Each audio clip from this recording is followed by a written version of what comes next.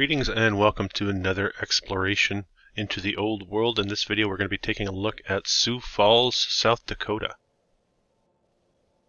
And as we zoom into South Dakota we can see Sioux Falls here at the crossroads of two major highways surrounded by cities like Omaha, Des Moines, Minneapolis, cities we've covered here on this channel.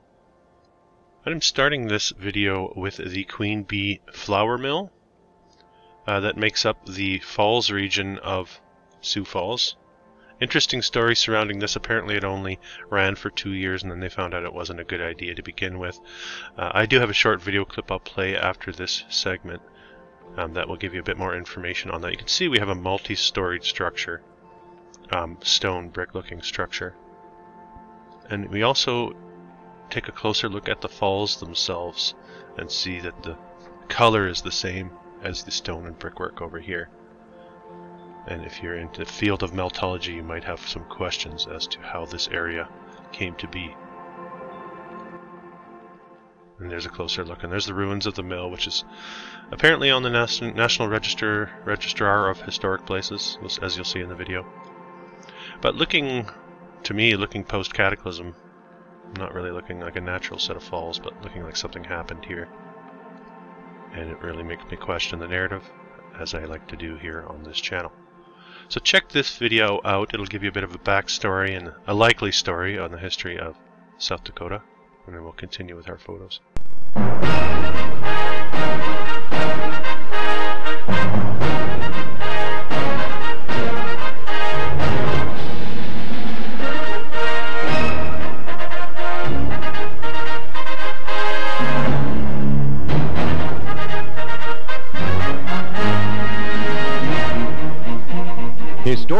Downtown Sioux Falls, when trolley rides were a nickel.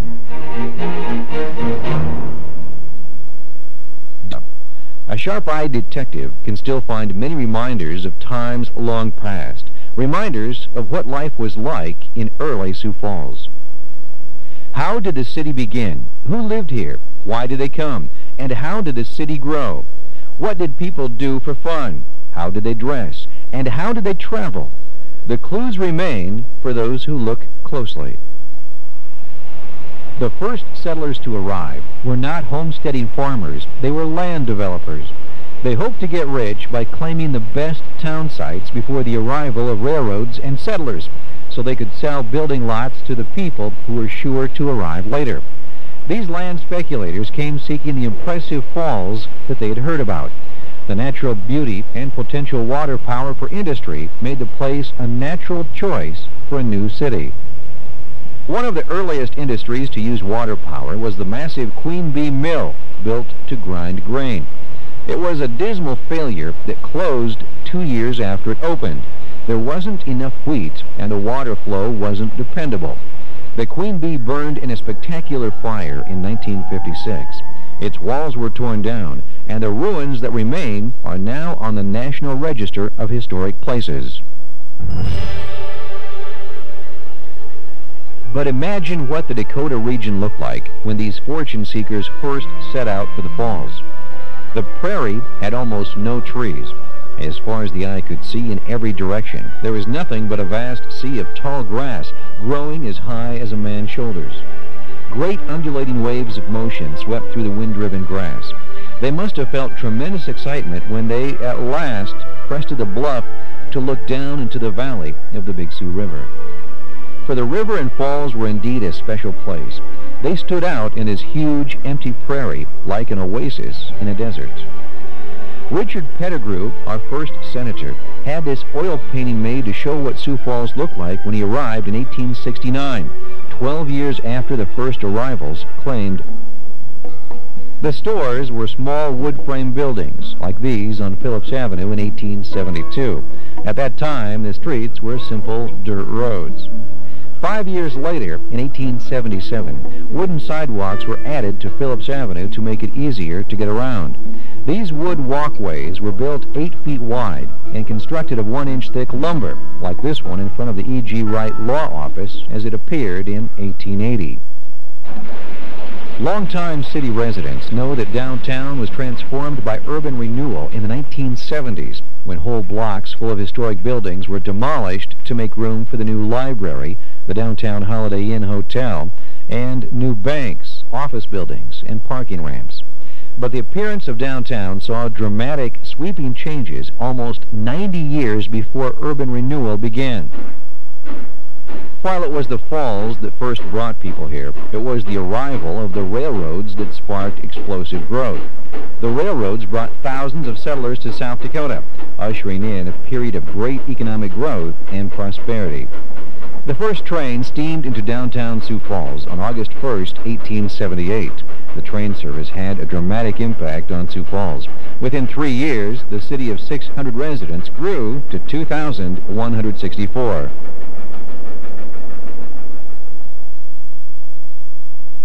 This bird's eye view map was drawn just a few years after the first railroad arrived. It shows what the city looked like when it had just over 2,000 residents. The road on the outskirts of the city at the top of the map is Prairie Avenue. The road at the city's southern edge is 14th Street. Nearly all of these buildings are within the area that is now our downtown. Note that the islands are still prominent features of the city. More rail lines were soon to come, and the city in this picture was about to be transformed with even more new growth. The city's population of 2,164 residents in 1880 exploded to over 10,000 residents at the end of the decade. The 1880s came to be remembered as the Great Dakota Boom Decade. Eventually, the city was served by seven different railroads, bringing more prosperity and even more rapid growth. This tremendous rapid growth did more than bring new people. The look of downtown and the city itself changed at a galloping pace as a result of the prosperity and access to materials brought by the rails. Phillips Avenue, which once looked like this with its small shops, looked like this by 1900. Most of the modest wood frame buildings were replaced by large, grand structures built of brick and stone. Sioux Falls boasted all the features and amenities of a major city. And a very interesting point and a, something that needs to be mentioned here, I think uh, they talked about that building boom in the decade before the 19 before 1900. You can see there's really no growth here going on, um, according to the census in uh, in Sioux Falls. Um, yet we're to believe that all of these stone and brick buildings were being thrown up in a city, really not a very large city whatsoever. Um, a lot of the growth happening here in our, our modern day. And as we look into the past and see all of these structures that we are told shot up in the 1890s, um, we have to do the math and really scratch our heads. I think. Here we have an interesting parade at an early time. You can see the tracks, so Sioux Falls having the trolley car. Um, again, you have to ask the question why. If you're into the old world research, you know that uh, we suspect that the trolley car was a part of the old world transportation system. It doesn't make a lot of sense to think that all of this shot up so so briefly and then was all replaced so quickly with automobiles. So there's a lot of holes in that narrative, and there's reason to question the timeline. The timeline is the biggest question in this field of research for me. I think a lot of it has been condensed, and other parts of it have been stretched. Um, and it really creates and causes confusion when we look into the past.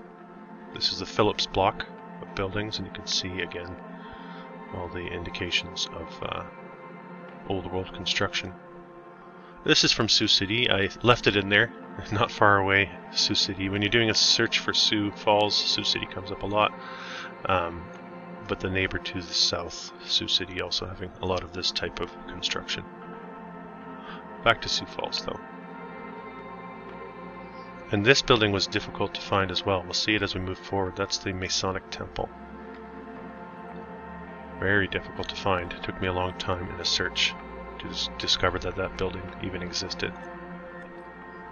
So many of the structures in Sioux Falls have this very uh, rough looking stone construction here. very difficult to achieve this type of construction, and I think the argument would be, well, they didn't have a lot of wood because they were on the prairies. Here we have basement windows. Um, but they had a lot of stone apparently, or they're pulling it from the river. Um, very difficult to achieve this type of construction, especially at that early time time period. And again, we have a very small population. Here's the auditorium. You can see a shot from the front here. See it a little bit better. Looking like the uh, fire hall was running out of here for a time. We do have uh, shots of the another fire hall. Let's say the Minnehaha building. You can see again that stone look. I do wonder if we're looking at damage, um, like a bulging of the blockwork. Often crosses my mind. I can't say. I don't know for sure. It's all speculation. All of what we're doing on this channel is speculation. Trying to connect dots that uh, are fairly far apart. Sometimes hard to uh, make those connections, but I do like to provide you with the visuals. We have a cathedral, of course, in Sioux Falls, looking like something out of old world Italy, with some polished marble columns, beautiful structure. Course, no construction photos on that, despite the fact that it was in 1917 to 1919, a two-year build time on that, with a fantastic pipe organ. And as I always like to say on this channel, if you know any more about the area, please do um, put something in the comment section, add to the story. If you feel so inclined if, to provide the mainstream historical narrative to rebut what I'm saying here, that's fine too. But please do it in a polite way or you're going to hear from me. We're questioning the narrative here. If you're not comfortable with that, you don't have to be here. This is a children's home. Stone Church. First Baptist Church could have easily been a bank. Um, looking like this has been built up and dug out. Most certainly. Very interesting. Uh, the Congregational Church, they're calling this. Again, very, very nice stonework going on here very detailed as well.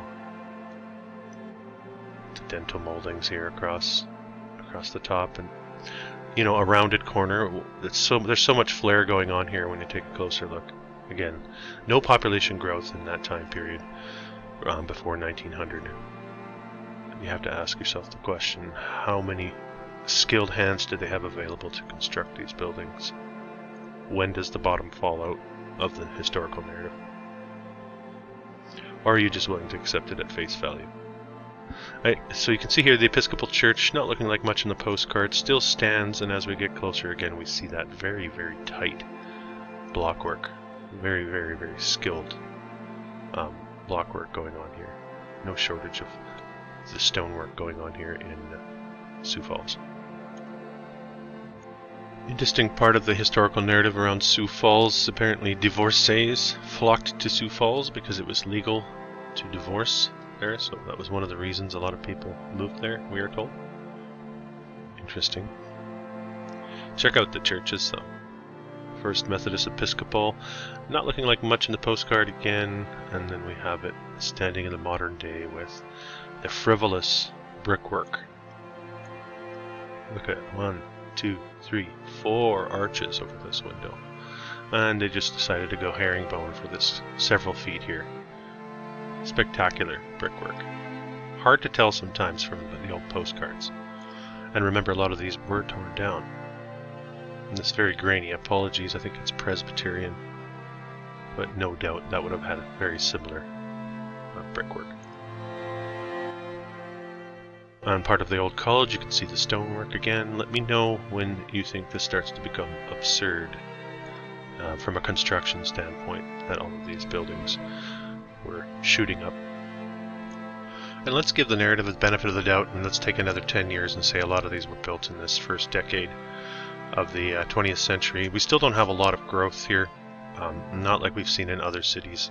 Very small city even at this point, 14,000 people. So pretty much everything I'm showing you here is coming out of this time period. And a city with such a small population apparently needed a coliseum and an auditorium. Here's the front of that coliseum. And again, you can see how elaborate and detailed. And there's the face at the top. Nice looking structure. Would take a lot of time, a lot of money, and a lot of skilled hands. And no, we are still in Sioux Falls. Did, we didn't magically jump to Toronto or something like that. This is the courthouse um, in Sioux Falls, built in 1890, when there was 10,000 people living there. We're told. And of course, the naysayers come to my channel and say, oh, they brought in skilled hands from the major centers nearby to get this done. Well, if you research those major centers, you're going to find out that they were doing the same thing there, and there's no way they could spare the skilled hands to make the trip to Sioux Falls to build a courthouse like this. Look at this thing. Still stands. They should have knocked this one down. This one sticks out like a sore thumb in the narrative, if you ask me. Now it's the old courthouse museum, but you can see the impeccable block work. Take a look at the size of the. You have a narrow row and a thick row and a narrow row and a thick row. Very tight arches. Uh, and here's a look at it. Standing immensely over the downtown area of Sioux Falls. Who's doing this work? Who did this in 1890? Is that, what is that, one piece? Is that molded? Is that one piece of stone? Anyone like to tell me? We have a bit of a balcony. It looks like a solid stone balcony, detailed. That's an old world banger, as I like to say. Please, detractors and naysayers, let me know what you think. There's that salmon colored column we see so often in these, what they'll say Richardsonian Romanesque style buildings. And they'll say it has to fit the timeline because H.H. H. Richardson lived in this time period, so it had to be from that time period. These are all, um, they're all trying to knock you off the scent as far as I'm concerned. This is so much more to the story. Hard to trust or believe any of it. Of course, we have the Elks Club. Here's a bit of the interior of the Elks Club had to have your gentlemen's clubs in all of these small towns at that early time period. Again, the stone. And you can see we have stone paved streets as well, or brick paved streets, and the rail cars. And does it really make sense, the horse and buggy era, does it really make sense for a city of 10,000 people to have shot up like this? Hmm. What do you think? You know what I think. What do you think? Modern day, and this is what it used to look like. So they've taken the bell tower off. You can see here in modern day chop. As they like to do, decapitate these old world structures. Several hospitals, old hospitals in Sioux Falls. You can again see the stonework. We'll move through them fairly quickly here. Another one with a nice big brick stack in the background. The Veterans Hospital, massive structure, massive complex, still stands. Here we have it today. Let's see, have they scaled back this part? I don't think they have. Looks the same. Hard to make this one out, but it is a hospital. Some of these are fairly grainy and were hard to dig up. Did my best to bring you as much as I could from Sioux Falls. Here we have the first hotel cataract. 1871 to 1883, I don't even have a census for 1870s. A census begins in 1880 with 2,000 people. Well, are we to believe there was, what, a thousand people here living in Sioux Falls when this was constructed? Certainly they didn't need to put a massive roof on that. They could have left it at a three-story hotel with a basement, as you can see. You can see the railing there on the lower level. And there's the next Cataract Hotel.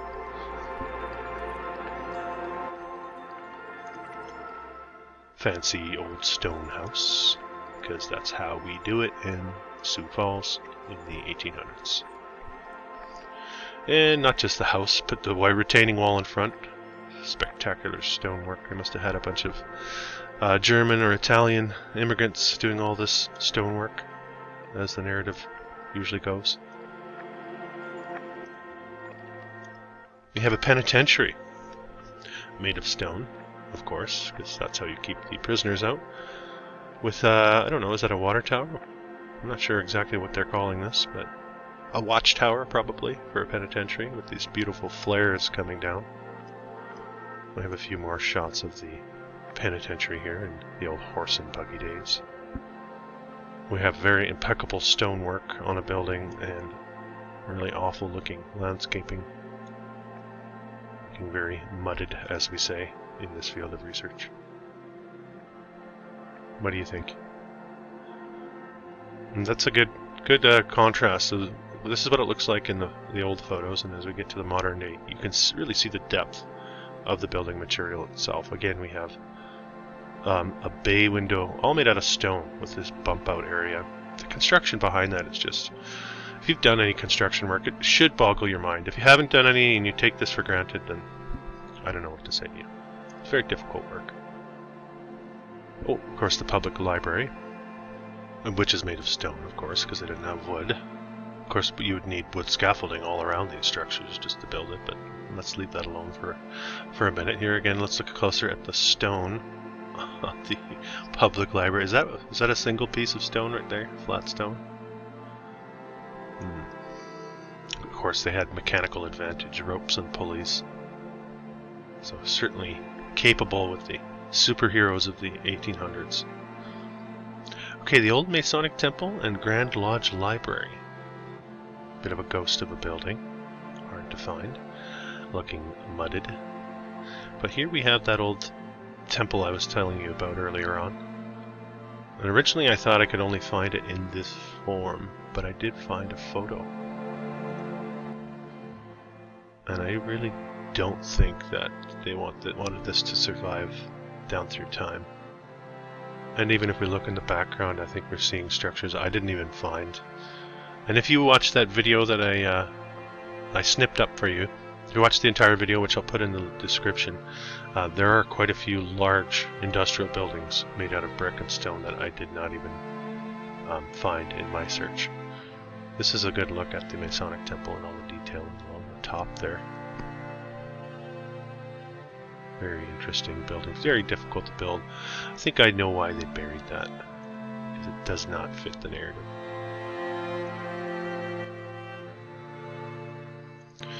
And of course we had the Oddfellows Hall. There had to be some Oddfellows in the vicinity doing their Oddfellow stuff. The building still stands. Even on the side you can see it's, hard, it's a little bit grainy, but it doesn't look like smooth brick. It looks like there's some bulging going on here. That's why I wonder if there's some heat damage. Not sure. Just speculating. This one looking a lot smoother. Beautiful buildings. 1887. Again, there's not even 10,000 people. And they have, they're building all these structures, we're told. And of course they had to have a multi-storied post office that looked a bit like a castle. And we're told they built this in 1895, that decade where there was very little growth, but of course lots of physical growth, not population-wise, but they had they got busy building all these stone structures in the 1890s. Very, very thin narrative here in Sioux Falls, South Dakota, making very little sense. Still stands to this day, spectacular structure. If you're in the area or passing through I certainly suggest taking a walk and taking in these magnificent old world structures. There it is again. You can see the basement windows. Try to imagine your local town of 10,000 people, if you live in one, um, constructing a building like this in our modern day. A lot of these structures to school structures and things that you really wouldn't expect. All Saints School, this one. Hard to tell, but you can see there's some detailed brickwork going on here. Arches. Here's a closer look at that, that work there and the woodwork on it. And it still stands. Magnificent looking structure. Look at the roof. Multicolored stone. There it is. We have the first unit of Catholic College and Academy of the Diocese of Sioux Falls, built in stone, of course, at a very early time period. Keeping those stone and brickies working. Gotta keep them busy. The deaf mute school. There it is. Again, you can see that bulging rock work going on there. Let's go through a few more schools made of stone. High school. Lowell School, you can see. Stone, basements. Lutheran Normal College. Very grainy. Apologies for that. Best I could do. It's the only one I could find. The Whittier School. Whittier indeed. Hmm. There's a nice shot of that main street. Those, those teched out buildings. And shady characters in their hats.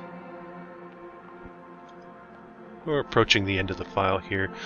Uh, what's your take on Sioux Falls from what I've shown you here? Do you think there's more to the story, or are we willing to swallow what we're told about history? We have a series of uh, entertainment venues here. The Grand Opera House, very short-lived, 12-year time period on that one. The Dreamland Theater looks like a four-year time period on that. You have to wonder, is it older? Was it 1911 the time that they got rid of it? I think so. Egyptian Theater, gone. Of course, you can tear that down in 1961. They took this thing down. Emerson Show House, multi-storied brick structure. I'm drinking a lot of Val Blatz's Milwaukee beer there, looks like. Of course. You have to drown your sorrows somehow, right? Germania Hall, 1880 to 1934. Not a very long window of time here. Strange construction looking like a reclaimed building from the old world, to my eye. Majestic Theater, a whole eight years. Apparently new opera house, and it only stood from 98 to 1915. I know this is confusing because they don't look like the same structure. My guess is there were a whole bunch of buildings that uh, we don't even know about in these old towns, including Sioux Falls. And we're doing our best to dig into the past but not a lot have survived the test of time. This is a really interesting looking face to the building here. What did you expect from Sioux Falls? Did you expect this? Maybe if you're in this field of research you did expect this, but this is ridiculous. Ridiculous detailing. Look at the circular. It's absolutely ridiculous. Beautiful. And we have the new YMCA, not to be confused with the old YMCA. Again, with that intricate detailing from an early time period in Sioux Falls. Alright, that is all I have for you from this location. Stay tuned for the next one, and thank you for being here.